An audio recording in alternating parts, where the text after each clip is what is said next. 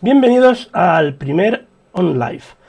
Aquí os traeremos pues eh, exposiciones, eventos y- y muchas cosas más. Pero hoy en este primero nos centramos en la exposición Vuelta a casa, una exposición sobre el proyecto que convirtió un barrio marginal en el centro de la comunidad artística de Miami. La exposición está abierta hasta el 29 de abril en Be the Travel Band Experience en la calle Miguel Ángel número 33 de Madrid. Tiene la entrada gratuita y en ella podéis ver una exhibición de vídeos y fotografías sobre cómo el arte urbano fue capaz de transformar el barrio de Waywood o algo así en Miami en el centro cultural de la ciudad de Miami. Os dejamos con uno de los vídeos que se pueden ver ahí.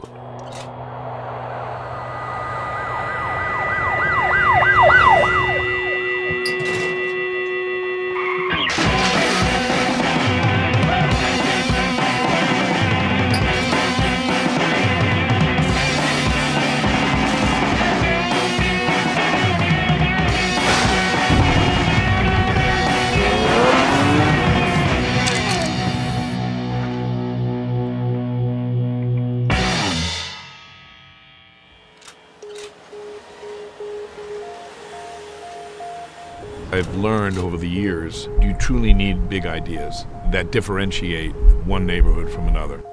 Most depressed areas, when they're in their depression, are taken over by street artists. Some of it's mediocre, some of it's outstanding art. What it didn't have is a defined center. Neighborhoods need a center, they need a main street. And I said, here I got a parking lot, I got buildings, I got canvases galore. Let me find the greatest of the international street artists and put them all in one place, open it to the public, and make it a town center. You know, in these times where money is scarce, one must be even that much more creative. It was beautiful. Tony and I came up with the concept for the Wynwood Walls. And this will be a phenomenon.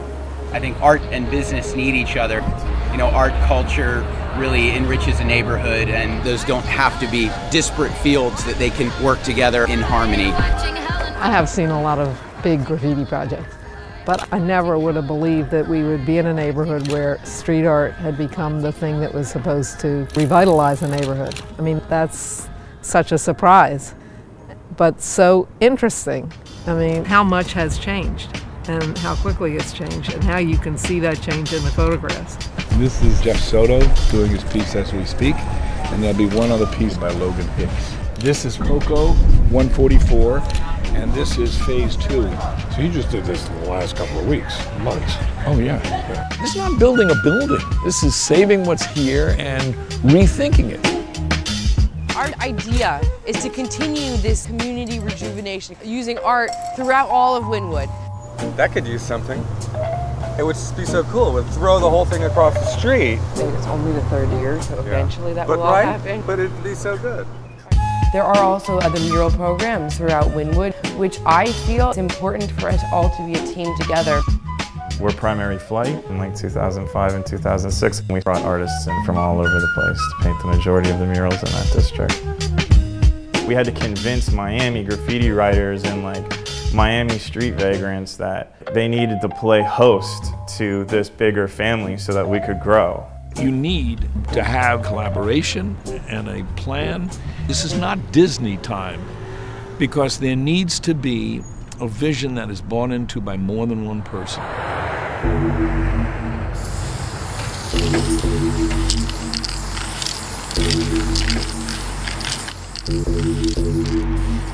You know, I do kind of say, you know what, my tag is good enough to be all over a building to myself every morning, and now it's happening. So some of them will like it, and some of them will not like it, and some of them will realize that, oh, it can be nice and it can be used for good. There's plenty of grit here. Keep some of the grit, take some of the grit away. in these times when you have so many cutbacks as far as funding for the arts is concerned, a project like this can have a big impact. It's the best of the best.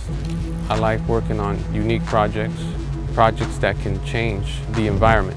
One of the most important things for me was to bring in unknown artists from regions that most people would really expect to see museum quality work. It's always interesting when you inject art into community, and this seems like a really great experiment right now. If it wasn't here, it seems like it'd be just an industrial shithole, but it seems really great now. The caliber of work here is exceptional. Simultaneously, it obviously functions in a different way and does become a backdrop for an enterprise and for a direction that this neighborhood is going into. And that's not something to knock at all. We had a vision that this was going to happen. It's like the truth. It's, it's going to get out. And it's going to hurt certain things and create this balance. But everything will set itself straight through history. It's the ultimate risk taking. You can't be perfect. You can be imperfectly perfect.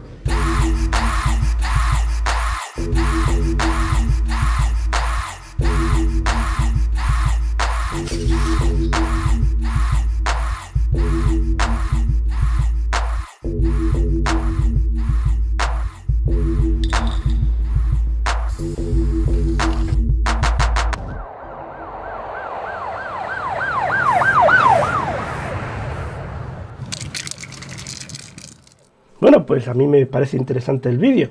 No sé a vosotros qué os parece. Recordad que podéis visitar la exposición hasta el próximo día 29 de abril en Video Travel Band Experience en la calle Miguel Ángel número 33 de Madrid, que la entrada es gratuita.